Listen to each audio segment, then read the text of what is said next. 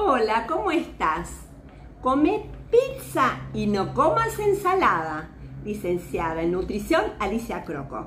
Estoy acá para ayudarte a que cambies tus hábitos alimentarios y que mejores tu calidad de vida.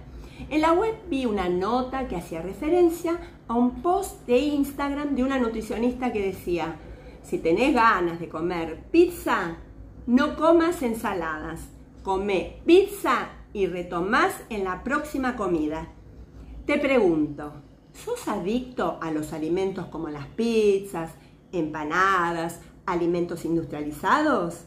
¿Y pensás que comiendo un poquito podés hacerle frente a esas preferencias que siempre te dominan y que no vas a volver a caer nuevamente? Pues, me parece un poco fantasiosa esa frase que dice, come la pizza y no comas la ensalada. Hay que ser realista.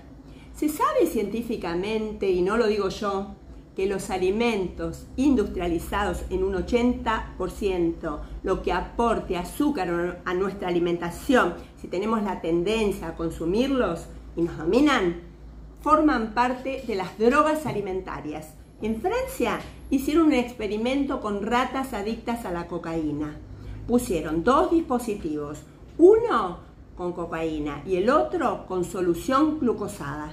¿Sabes hacia cuál de los dispositivos fueron las ratas adictas? ¿Ya tenés la respuesta? Efectivamente, hacia el de la solución glucosada.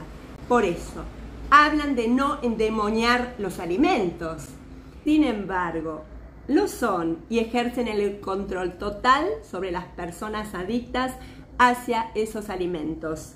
Sería interesante que comiences a utilizar los alimentos aprovechando sus nutrientes y que tengas en cuenta todos alimentos que forman parte del obstáculo que hace que no puedas lograr un peso saludable y duradero. Si te gustó este post, compartilo con tus contactos, dale like y hace las preguntas que quieras.